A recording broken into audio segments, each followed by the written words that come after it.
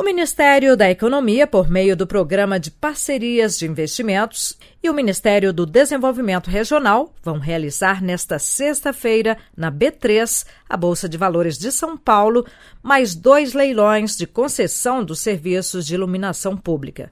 Desta vez, os beneficiados são os municípios de Cachoeiro do Itapemirim, no Espírito Santo, e Toledo, no Paraná.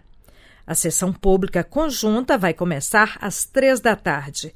Os municípios foram selecionados em processo de chamada pública promovido pelo Fundo de Apoio à Estruturação de Projetos de Concessão e Parcerias. A estruturação dos projetos de parceria público-privada foi realizada pela Caixa com apoio técnico e cofinanciamento do Banco Interamericano de Desenvolvimento, o BID. Da Rede Nacional de Rádio em Brasília, América Mello.